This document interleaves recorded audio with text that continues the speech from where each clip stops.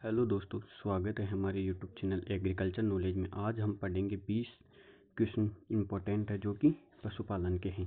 अगर अभी तक हमारे यूट्यूब चैनल को सब्सक्राइब नहीं किया है तो सब्सक्राइब कर दीजिए और जो पास में बेल आइकन का बटन है उसे दबा दीजिए। तो दोस्तों देखते हैं, नाली एक नस्ल है। दोस्तों, नाली किसकी नस्ल है? वो है भेड़ की। ऑप्शन नंबर सी, जिस दूध में वसा नहीं होती है उसे क्या कहते हैं? उसे कहते हैं स्मिड मिल्क कहते हैं। दूध मापी यानी इलेक्ट्रोमीटर में निशान लगे होते हैं तो वो होते हैं ज़ीरो से चालीस। ऑप्शन नंबर टू, दही जमने के लिए उपयुक्त तापमान है। दही जमने के लिए उपयुक्त तापमान है 21 degree centigrade. Option number C, protein किसके बहुलक है? प्रोटीन है एमिनो अम्ल के। ऑप्शन नंबर सी, किस राज्य में प्रति व्यक्ति दूध उपलब्धता सर्वोच्च है? तो वो है पंजाब की। ऑप्शन नंबर फोर्थ मुर्रा बेस का मूल स्थान कौन सा राज्य है? तो मूल उत्पत्ति स्थान कौन सा राज्य है? हरियाणा है। ऑप्शन नंबर टू दूध में कम से कम वसा प्रतिशत होनी चाहिए। तो दूध में कम से कम वसा प्रतिशत होनी चाहिए तीन पॉइंट पाँच।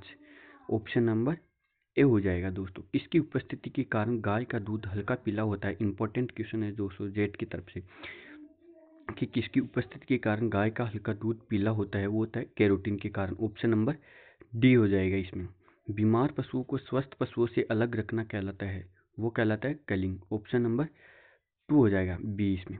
दूध में किस तत्वों की कमी पाई जाती है? तो दोस्तों इंपॉर्टेंट क्वेश्चन ये जेट 2017 में पूछा भी गया था कि दूध में किस तत्वों की कमी पाई जाती है, वो पाई जाती है आयरन की। ऑप्शन नंबर फ़र्स्ट, निम्न में से वसा विले विटामिन है।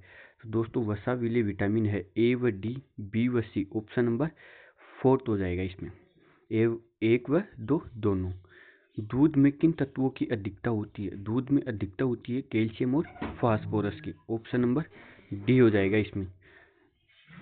दूध में दूध में खनिज लवणों की मात्रा होती है या पाई जाती है। तो दोस्तों दूध में खनिज लवणों की मात्रा पाई जाती है ज़ीरो पॉइंट सात ज़ीरो से ज़ीरो पॉइंट नौ zero percent option number B, दूध में प्रोटीन किस रूप में पाई जाती है? तो दोस्तों, दूध में प्रोटीन पाई जाती है पाइस के रूप में। ऑप्शन नंबर फ़र्स्ट, दूध का पीएच मान होता है, इंपॉर्टेंट क्वेश्चन है, दूध का पीएच मान होता है छः पॉइंट छः ऑप्शन नंबर ए, गाय के दूध का अपेक्षित घनत्व होता है।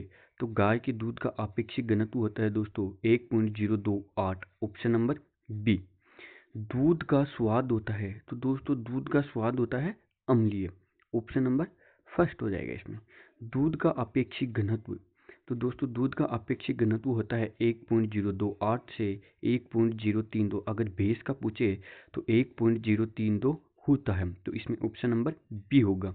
दूध का जमाव बिंदु। तो दूध का जमाव बिंदु होता है दोस्तों, माइनस पॉइंट पाँच डिग्री सेंटीग्रेड। ओके।